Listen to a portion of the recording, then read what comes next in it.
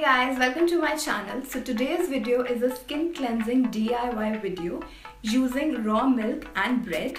In winters, we should avoid using face wash as it tends to alter the pH value of our skin and we already have comparatively drier skin and we might tend to get dry patches all our T-zone. So we need to pamper our skin and give some nourishment to our skin to make it look more greasy, buttery, smooth and young. From teenager to adult, anyone can apply it on their face on regular basis. This also helps you get a brighter as well as a fairer skin in just a couple of weeks if you apply it regularly.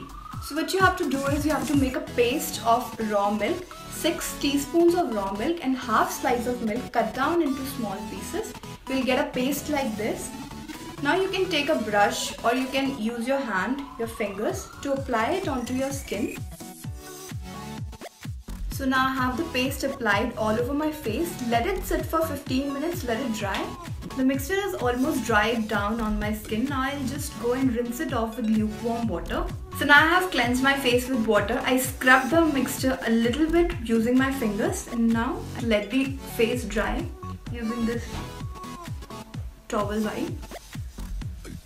So now you can see that the dirt is almost off my face. According to me, this is the best way to get your skin cleansed and nourished. For more such videos, please like, share and subscribe to my channel. Thank you.